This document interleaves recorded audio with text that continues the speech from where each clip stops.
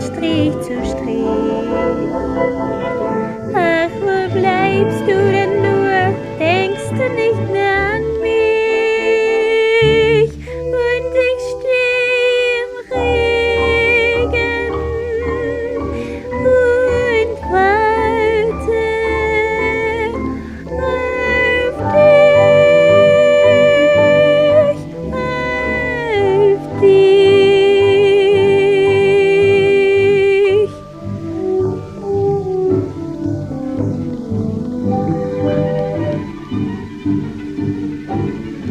could.